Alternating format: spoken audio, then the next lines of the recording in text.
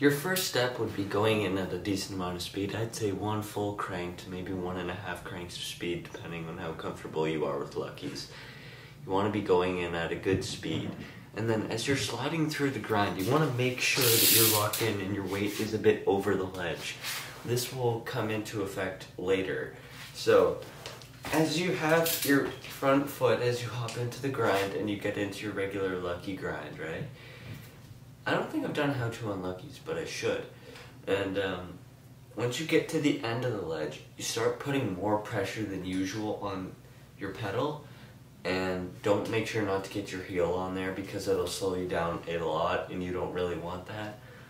Once you do that, you put pressure, start looking over, and imagine you're doing a peg switch 180, except you have like the pedal pressure to kind of help you get some of the pop. Once you look over your shoulder, it's basically just like it. You just need to lean not too far back, but not too far forward. Depending on your frame and your height, this will be a balance point. You definitely want to find a balance point before you full commit to it.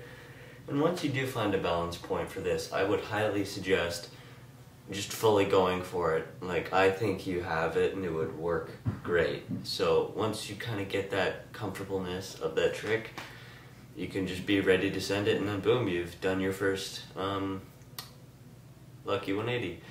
So, yeah, hope you guys enjoyed this video. I know it's a pretty short one, but it's relatively simple. Once you know the tricks that kind of go with the trick, like, you should know what you're doing.